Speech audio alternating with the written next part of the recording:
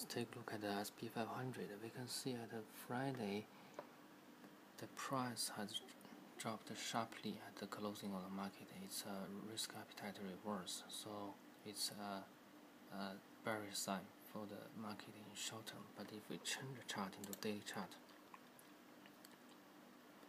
we can see here we got a red candle. This red candle has a higher low compared to the candle before it, so we are still well above the supporting line. The supporting line should be here.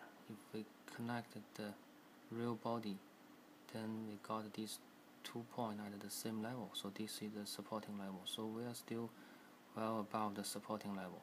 And also we only dropped a little bit from there. That means we are still well above the EMAs and this consolidation area could be seen as the start of a new bull market because we can see the liquidity in the market is still enough as we can see from the news that the federal balance sheet and the ECB balance sheet all hit an all-time new high. So it's very likely for it to go higher from here. And if we check the volume here we can see that the selling pressure is very low because the volume is low. There's not so many sell. So this pullback is still healthy we got two candles here have a higher low than here. So the higher low already formed. So as long as we keep the about here we still got possibility to, to advance again. Thank you